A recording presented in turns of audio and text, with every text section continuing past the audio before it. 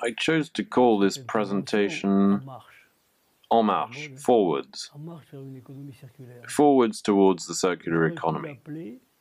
I could have called it Semantics of the Circular Economy because the vocabulary is important.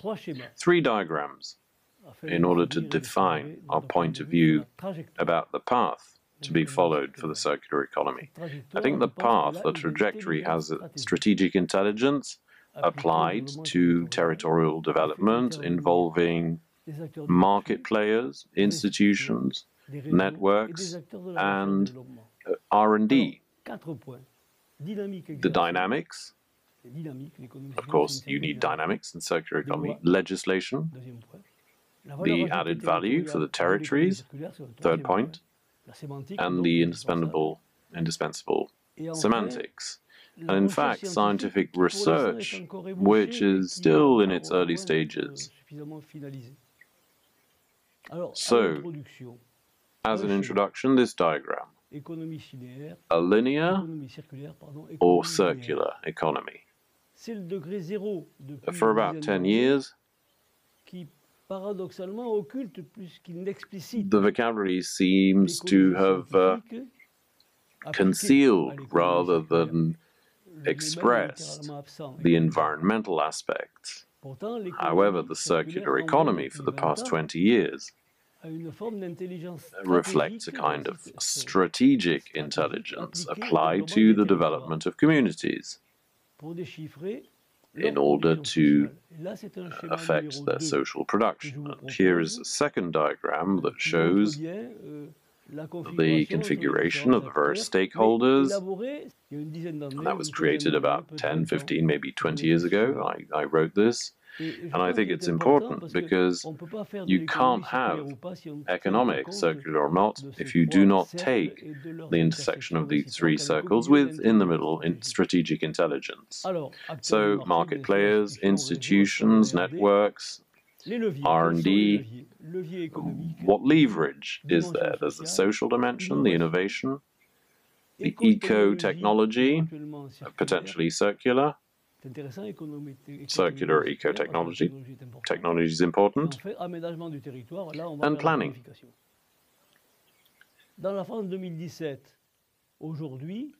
Uh, from 2017 onwards, the circular economy became a kind of managerial strategic target, to use managerial speak. There are local policies that are advanced in this field. There's a mobilization of dynamics, which is relatively well mastered, uh, as defined by ADEME, and in France, across very different communities, or in industrial or rural activity parks that are well known. I'm thinking about Organic Valley and others. These are principles of organization uh, for the circular economy of the kind of, uh, in the interest of what I call strategic interest. And the third diagram, I would like you to look at it very closely, euh, shows that strategic intelligence euh, is at the heart of the development of momentum in the circular economy uh, for the various levers I discussed earlier. Look more closely. You will see uh, that these aspects are very important if you wish to truly study. There are various kinds of dynamics here.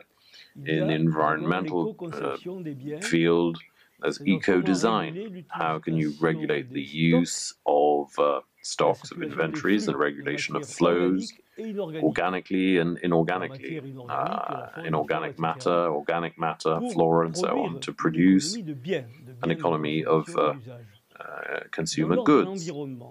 Environmentally, the dynamics are moving towards a reduction of waste.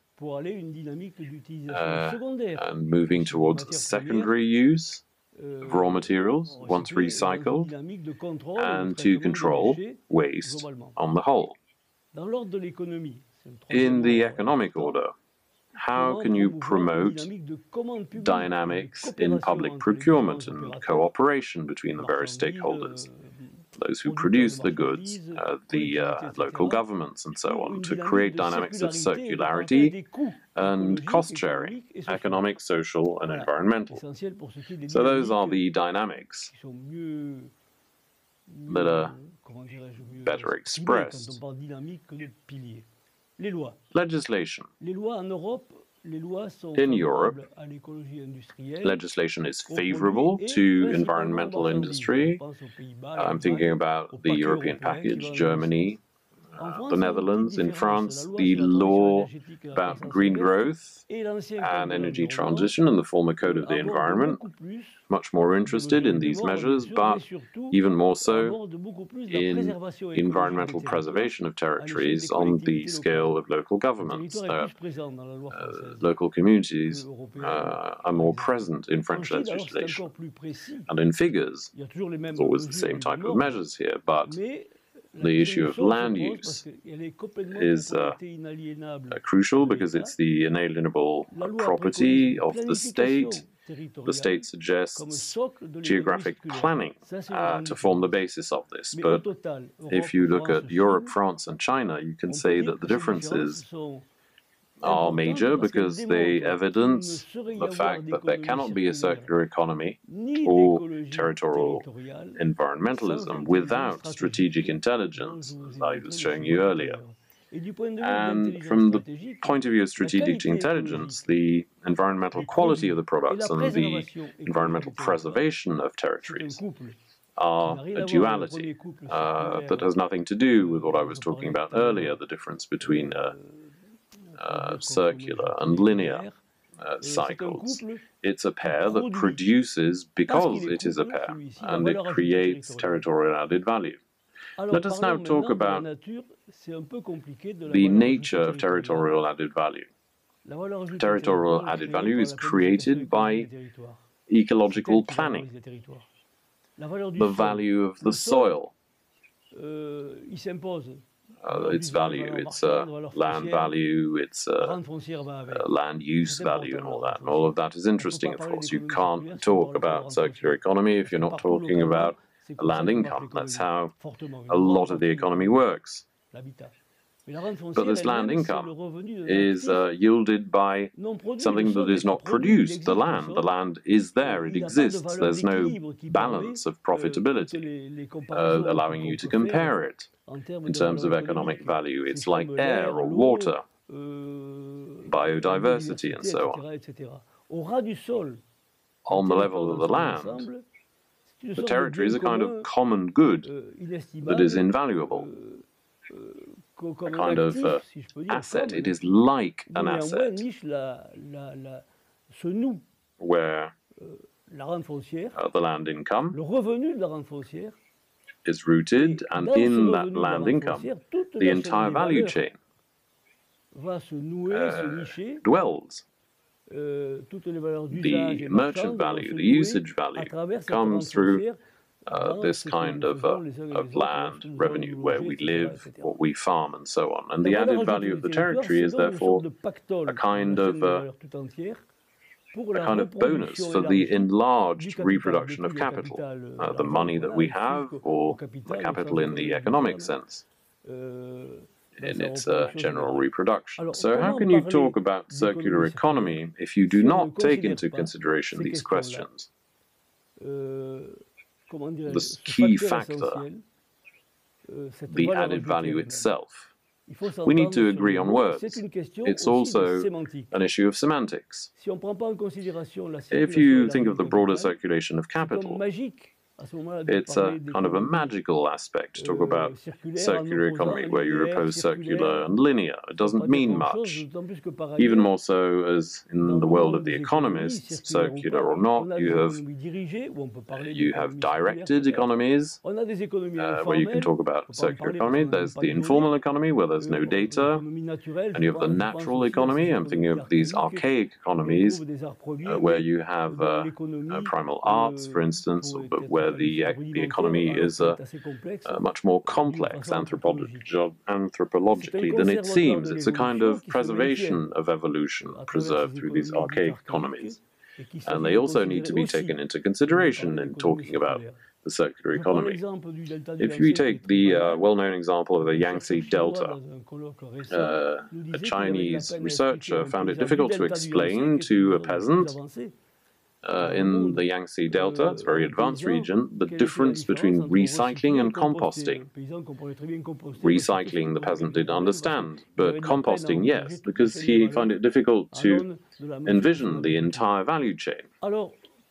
So, in scientific research, we're far from the mark, even in 2018, in the terms of uh, its uh, application to the circular economy. It's now emerging. It barely existed a few years back.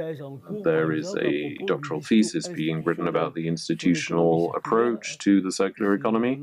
The University of Montpellier research is aiming uh, for the institutions, for public institutions, institutions, how do they work in terms of the circular economy? The MOOC in 2018, and there are uh, scientific papers that are being published. They're very heterogeneous, of course, but they are seeking to gradually conceptualize the concrete challenges and dynamics that can be applied to the circular economy. And the final question that arises, or at least for the time being, desirable on the scale of each territory, the hypothesis of the circular economy is often treated in macroeconomic terms. Its local visibility is unclear. If you don't look at experiences that have taken place. How can you steer or pilot locally an exit from the general crisis, uh, environmental, economic, financial crisis? How can things be steered locally without taking into consideration the issue of anth anthropology of each of the, the territories and of uh, the natural habitat? No applied research is being conducted on the life cycle of, of capital. There is research Think about Sabine Barles, who uh, will be talking here euh, about the stocks and flows, what she calls the territorial meta metabolism. But who is studying the life cycle of the capital in the sense that euh, the capital circulates, it has a broader circulation that, that is becoming wider and which makes no sense when a crisis occurs who is studying the life cycle of the capital, uh, based on buildings, mobility, transportation, all of these elements of our day-to-day -day lives. Uh, for the time being, research in the circular economy have not really uh, paid attention to this. Uh, although I believe this is fundamental if we are to move forward, if we are to create an environmental civilization, what Braudel calls a material civilization, in a book uh, he wrote about 20 years ago, and I believe that we must really ask important questions about added value, not only applied to the issues of the climate, but also locally the value of the habitat and, uh, and of our lifestyles. Perhaps two years from now, the MOOC project that will take place will take us there, but it depends uh, on you, on me, on everyone. Thank you. Voilà, je vous remercie.